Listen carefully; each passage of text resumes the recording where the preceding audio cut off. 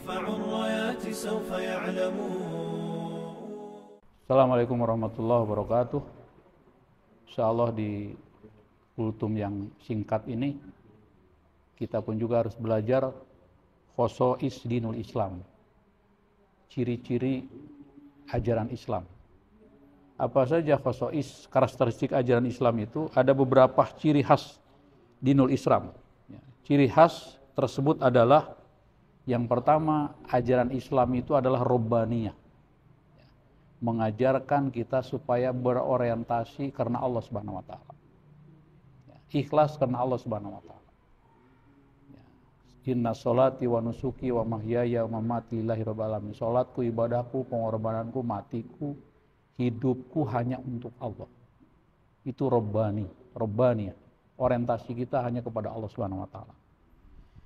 Ciri yang kedua adalah insaniyah alamiah kemanusiaan dan universal.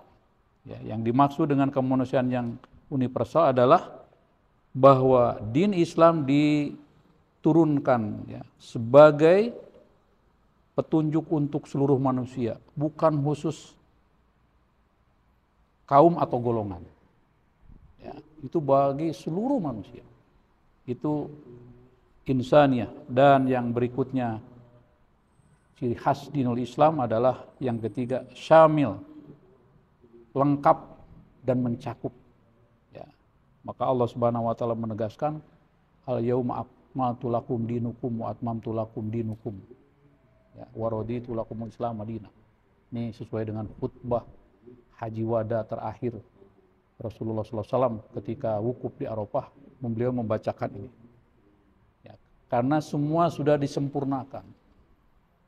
Seluruhnya sudah likuli jawanibil hayat. Mengatur mengajarkan uh, seluruh aspek kehidupan. Tibyanan likuli syai.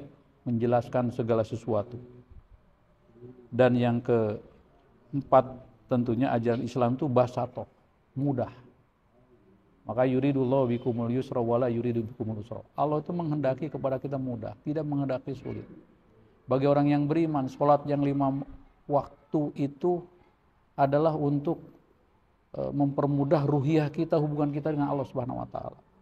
Karena di dalam diri kita ada tiga komponen yang harus diisi, jasad dengan sandang pangan, makanan atau am, e, kemudian akal diisi dengan ilmu. Ruhiyah ini penting. Ya. Bagi orang mukmin, orang yang beriman dengan sholat tentunya untuk e, memberikan nutrisi, ya, siraman rohani kepada kita sehingga kita jiwa kita akan menemukan ketenangan. Dan yang berikutnya yang kelima bahwa ciri dinul Islam adalah al-adalah, keadilan yang mutlak.